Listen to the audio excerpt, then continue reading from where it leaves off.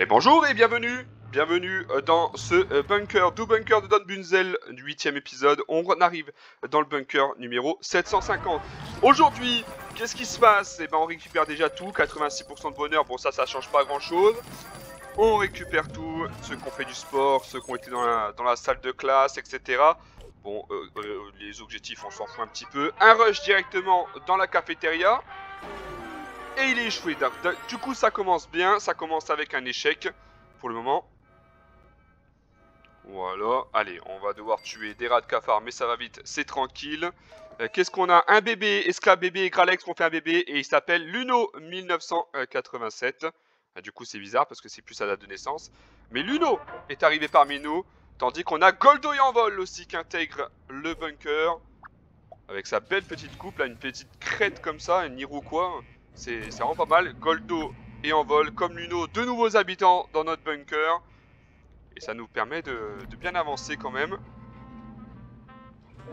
Et il euh, n'y a pas que eux, hein. on a un autre aussi, le Cadavrixki, allez directement, trois nouveaux habitants, euh, Goldo, Cadavrixki et Luno qui intègrent le groupe, alors qu'on avait déjà l'OP Gringo, vous voyez, Cadavrixki qui est un vrai ninja, regardez ses capacités incroyables de Cadavrixki, et directement on va l'emmener euh, dans le salon pour faire peut-être un bébé, Attention, là ça travaille pas, il va falloir le mettre à travailler. Ici, comment ça se passe? Gotania et Lilou qui font euh, du sport. Dans l'armurerie, il y a Audrey et Niki Santoro qui s'entraînent aussi. Dans la salle de musculation, on a toujours Wolfield et Catel, le duo suisse. Wolfield et Catel. Et enfin, alors attention, Wolfield, on va le retirer. Voilà. On va le, laisser un petit peu maintenant aller travailler. On, a, on peut créer maintenant un nouvel uniforme de la confrérie. C'est pas mal ça un bel uniforme pour chez nous et on va le faire d'ailleurs. Hein. Qui va s'en occuper de créer cet uniforme. Nick Dark, Nick Dark, tu vas arrêter de travailler dans le générateur, tu vas venir t'entraîner dans la salle de, musculation. Le bureau de superviseur, on va aller voir. Voilà, il y a une mission qu'on a vous le savez. Bermode, PVT Diaz et Alexandra qui partent en mission. Vous pensez pouvoir fermer mon journal de force. Préparez-vous à une victime d'un. Je publierai même le nom de l'emplacement de votre abri. Mes amis pillards vont venir vous bouffer tout cru. Mais je touche la moitié des pillages. Je vous enfile un peu si vous partez. Ah Eh ben écoutez, non, on n'est pas d'accord. Ils mentent dans le journal, donc... Euh, donc on va s'en occuper. Voilà, on va les défoncer ils nous menacent, et eh ben avec les armes de PVT Diaz, les armes de Bermode et les armes de Alexandra, ça devrait être tranquille malgré qu'ils sont beaucoup. Donc voilà, ils mentent dans les journaux, ils veulent nous menacer, donc on les extermine. Même si là c'est galère, attention quand même Bermode, mais ça va, on a pas mal de soins. PVT Diaz, Bermode, Alexandra, de toute façon ils, ils sont imbattables avec leurs armes et leur armure incroyable. Surtout leurs armes. Voilà, ils sont presque tous KO. Et voilà, c'est fait. Voilà, nous on a peur de personne. Beau travail encore des trois, du frère et de la sœur, plus PVT Jazz. Et voilà, ils vont rentrer avec 4300 capsules à la maison, dans le bunker, donc c'est pas mal. Et on a récupéré, euh, alors qu'est-ce qu'on a? Ça c'est les objectifs. On a récupéré un nouveau robot, vous voyez, il y a Kratos ici. Et ben Kratos c'est un jumeau. On a... Ah, il se passe une scène de sexe là-haut. Une belle scène de sexe, si vous voyez. Mais oui, effectivement, on a un jumeau pour, euh, pour Kratos. Le voilà. Et on va l'appeler Kratos 2. Hein.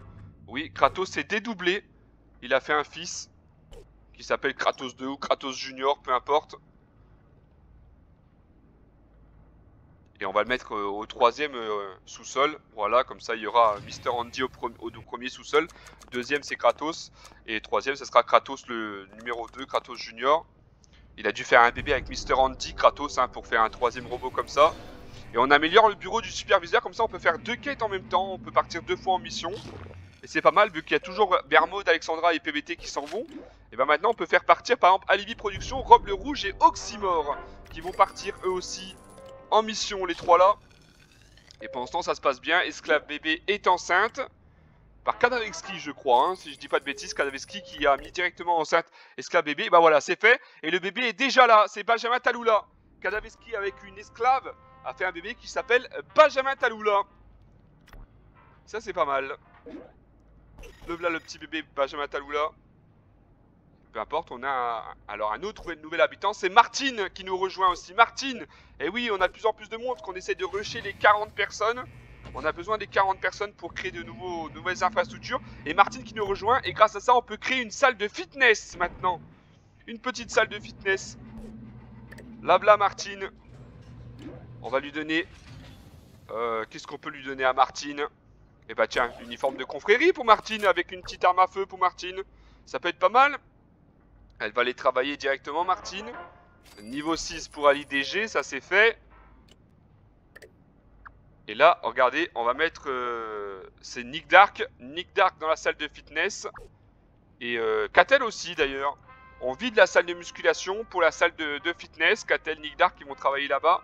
Maintenant, il faut trouver qui c'est qui ira dans la salle de musculation. Et pour le moment, on est en mission et on est avec euh, Rob le Rouge, on a dit. Oxymore avec sa fameuse queue de billard et à Livy Productions. Je suis Mandy McIntosh, les ghouls sauvages nous ont capturés. Je pense qu'elle garde certains pour euh, des encas. Et Paula Pumpkin a réussi à s'échapper. On rappelle qu'on cherche Paula Pumpkin. Donc elle a parlé qu'elle serait dans l'abri 333. Mais à chaque fois, bah à chaque fois, voilà. Et grâce à ça, on gagne une batte de baseball. Bah tiens, Oxymore va arrêter sa queue de billard et va prendre la batte de baseball. Oxymore, toujours pas d'arme à feu. Mais il quitte sa, sa queue de billard pour une arme un peu mieux, une batte de baseball. Bravo c'est cool. Et voilà, un combat face à des ghouls. Et Oxymar utilise sa batte de baseball directement. attention, il n'y a plus beaucoup de, de radaway pour, euh, les radiations parce que Livy Production était en galère. Et là, Oxymore qui met des coups de batte de baseball dans la gueule des ghouls, c'est pas mal, hein. c'est très correct tout ça. Attention quand même, hein. Livy Production effectivement elle a... Elle galère aussi, elle prend beaucoup de, dégâts, elle a mal, elle souffre la Et voilà, c'est fait ça. Bienvenue dans la valse des têtes, vous le connaissez ça, avec Bermaud, Alexandra et PBT doivent répondre à des questions. Sinon il y a bagarre, baston. Dans quel ancien état l'île de Furladbor se trouve-t-elle? J'en ai aucune idée, mais c'est PBT Jazz qui répond le main. Mais c'est bon, c'est une bonne réponse, donc ça continue. C'est bien, c'est correct, mais il y aura 3 ou 4 questions comme ça. Et de toute façon, même si on a bon, regardez, il y, a des autres qui nous attendent. Qu'est-ce que le Dima? Est-ce que vous savez c'est quoi? Peut-être un ordinateur nous répond Bermode Non, c'était un synthétique, bande d'imbéciles. Voilà, il y, a le combat qui, se passe. Alors si vous connaissez le monde de Fallout forcément, mais moi je ne suis un nouveau superviseur qui ne connaît rien à ce monde. Et Bermode apparemment non plus parce qu'il a fait une faute. Alors que PVT avait raison tout à l'heure. Mais encore une fois, hein, c'est la même chose hein, qui se passe. C'est qu'on a des armes à feu ultra cheatées pour les trois là. Troisième manche, quel est le nom de la base des enfants d'atomes sur l'île de Far Harbor? Le nom des enfants Bah alors le noyau nous dit Je n'aime pas quand ils ont raison. Bravo Bermode qui a eu raison Il a dit noyau. Alexandra elle se tait, elle, écoute les hommes. Dernière manche, pourquoi Kasumi Nakano a-t-elle rejoint Acadia Peut-être parce que elle pensée être un synthétique? Ah bah on a raison, bravo, c'est Alexandra cette fois qui a répondu. Et eh bah c'est pas mal Finalement, on est très euh, très très bon parce que bah, on a pu répondre à, 3 questions sur 4. Et puis donc on va pouvoir s'enfuir avec euh, pas mal de bons gains. C'est vrai qu'il nous rapporte toujours beaucoup beaucoup de gains euh, euh, PVT, Bermode et, Alexandra. Et voilà, regardez, une Voltec, 4200 capsules, c'est l'argent. Hein. Notre guide suprême va vraiment être content parce que c'est lui qui nous donne les quêtes et et ça se passe terriblement bien, c'est vrai, ce bunker. Mais attention, on arrive à la fin de la saison 1. On vous rappelle, il y aura 10 épisodes au total, donc encore 2 après celui-là. Et voici petite Wolfa qui nous rejoint. La petite Wolfa. Ces petits Wolf féminins. La petite Wolfa, elle aussi nouveau. Et tout comme euh, Ayoros Wolverine. La petite Ayoros Wolverine, un petit enfant, lui aussi, elle aussi du coup. On ouvre une boîte Voltec, beaucoup de nouveaux hein, forcément. On va aller jusqu'à 40. Une tenue de bibliothécaire, ça c'est pas mal ça. Et qu'est-ce qu'on a là? On a du scotch militaire, c'est pas mal. Et... Wow Un empaleur Ça c'est une belle arme ça. En tout cas oui, hein, on est bientôt à la fin de la saison 1 de, de tout ça. Et donc il va se passer beaucoup de choses et on veut 40 habitants. Hein. C'est pour ça que ben, on continue à, faire des bébés avec Esclave Bébé. Et à trouver des, nouveaux habitants. On est 37 actuellement. Et là on a dû faire une mission tout seul avec Jack. Si je me trompe pas, c'est bien Jack. Oui c'est Jack. Il est parti en mission tout seul. C'était obligatoire, notre guide suprême voulait pas qu'on parte à deux, il voulait qu'on parte en fait que avec des équipements, voilà, des costumes d'affaires comme ça. Et on n'avait qu'un seul costume d'affaires. Du coup on a pris Jack qui va se battre contre trois rats de cafard. avec son pistolet qu'il a surnommé Will Build. Will Bill, le, le Bill sauvage. Oui, Majak, il est comme ça, il donne des, noms à ses, à ses, pistolets, à ses armes à feu. Et il galère, hein, pour l'instant, il galère parce que bah, c'est pas une arme à feu de ouf, hein. c'est un pistolet bien de cowboy, mais, euh, mais c'est un peu éclaté. Là, il est, en, il est un petit peu en galère, il fait pas beaucoup de dégâts, un seul mort là. Bon, il, ça va, il a pas mal de steam packs qui sont là pour le soigner au cas où il y ait des blessures. Là, on voit le, frigo qui brille, un coffre-fort qui brille aussi. Ça veut dire qu'il y a des équipements. Vous voyez le canapé aussi un petit peu arraché. Il y a une radio, il y a des trous, il y a, il y a la porte qui est barricadée. Et une autre porte euh, qui ressemble peut-être à un ascenseur ou je ne sais quoi. Bref, le combat est long. Très très très très très très long parce que effectivement il veut pas changer d'arme à feu. Mais euh, alors voilà, c'est bon. Deuxième est mort. Il veut pas changer d'arme à feu et pourtant son arme est éclatée. Voilà, il a réussi à tuer les trois rats de cafard. Tout est une question de butin. T'as bien raison, Majak. Il aime l'argent, il aime l'oseille, il aime le fric parce que le fric c'est chic. Et Majak aussi, dans cette tenue-là, il est bien chic. Allez, encore deux petites salles ici. Est-ce qu'il y aura des rats de cafard Oui, malheureusement. Aïe, attention, un rat de cafard euh, luminescent.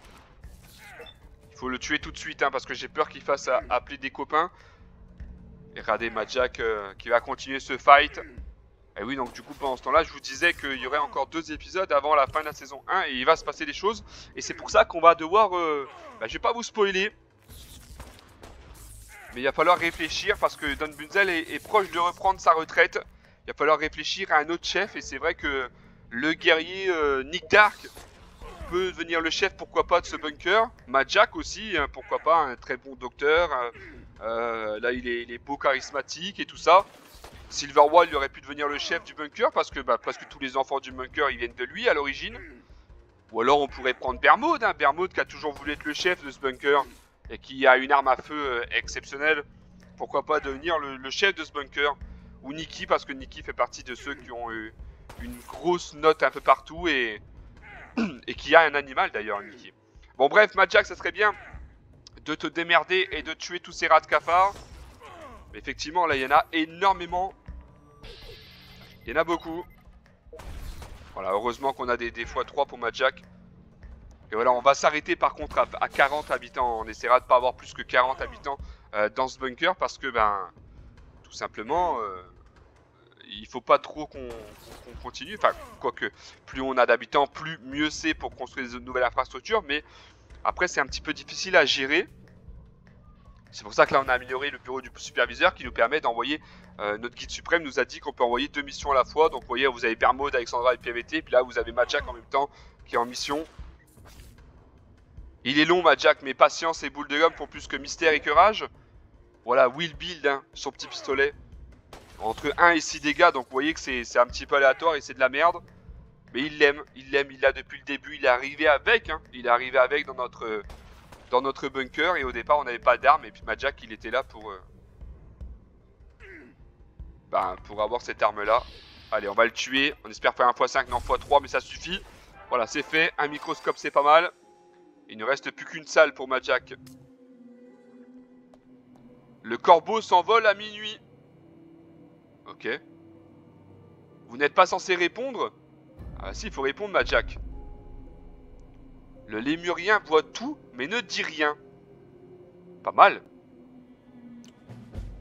Le lémurien voit tout, mais ne dit rien. Est-ce que c'était le mot de passe? Vous avez de la chance de ne pas vous être fait tirer dessus. Merci à toi. En tout cas, c'est fait. Voilà, on peut rentrer. Tranquillement. Après le super dupper Marthe. Le petit magasin. Voilà, ça va être fait pour Majak. C'était une mission de merde. Alors ici, qu'est-ce qu'on a? On a un fusil d'assaut rouillé, un fusil calibre 12, parfait pour repousser les ennemis trop entreprenants. La nouvelle batte de baseball d'Oxymore, tête ennemie. Euh, voici batte, euh, ça devrait faire des étincelles entre vous. Ça, c'est pas mal. Le fusil à clous amélioré, vous avez une envie de clouer définitivement le bec au pillard eh ben c'est possible avec cette arme là Le euh, l'empaleur, voilà, une arme légendaire, ce qui fait se fait de mieux dans le projectile perforant. Accéléré l'empaleur, c'est incroyable. On a une tenue de banlieusard d'avant-guerre, on n'arrivait pas à choisir entre une pull et une veste. Voici, pourquoi pas les deux en même temps.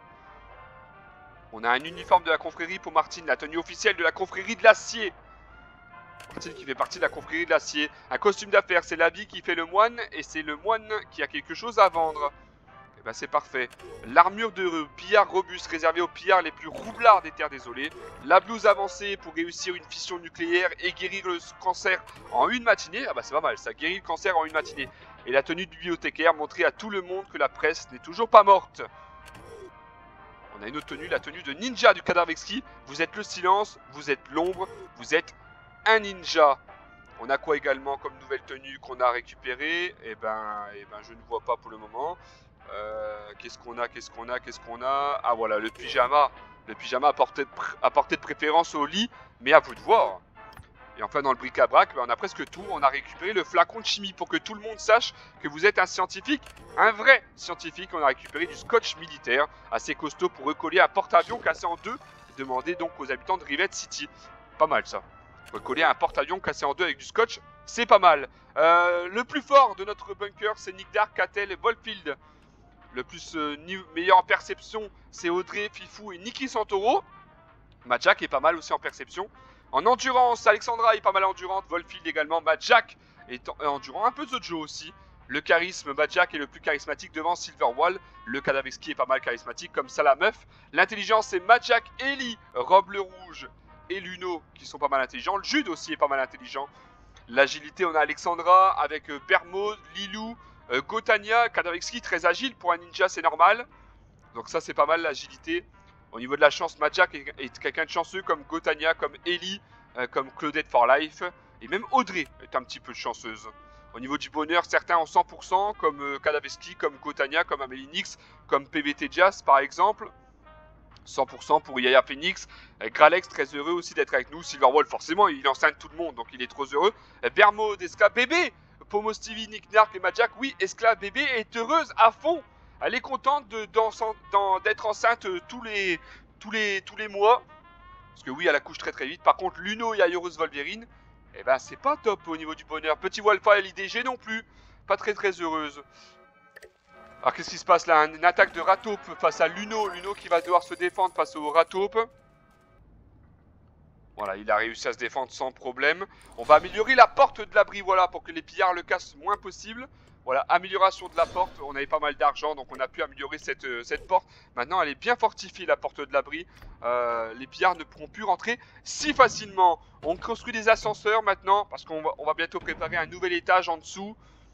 Un nouveau sous-sol plutôt, plus qu'un étage. Et voilà, deux nouveaux ascenseurs construits, on a pas mal d'argent et on va construire un nouveau générateur. Hein. Il nous faut de l'électricité encore et encore et encore. Donc on prévoit euh, un nouveau avec le générateur. Voilà, on améliore tout ça, on agrandit, on euh, met tout notre argent dans ce nouveau générateur, dans une nouvelle usine électrique.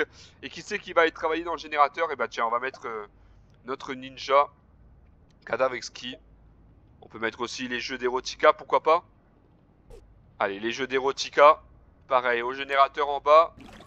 Là, on récupère... Euh, voilà, ici, c'est pas mal. Ça, travaille aussi. Ça travaille un peu partout. Voilà, des, petites fourmis, même si on sait que la, plupart des fourmis ne travaillent pas. Ils font seulement semblant. Ici, on travaille vraiment. Les jeux d'héros, Kizumi et le Kadavaki qui réussissent un rush pour inaugurer cette nouvelle salle. Et c'est bientôt la fin. C'est la fin, voilà, on voit Majak qui va revenir. À la prochaine. Et cette fois, attention, il y aura bientôt un vote pour trouver un nouveau président de notre bunker.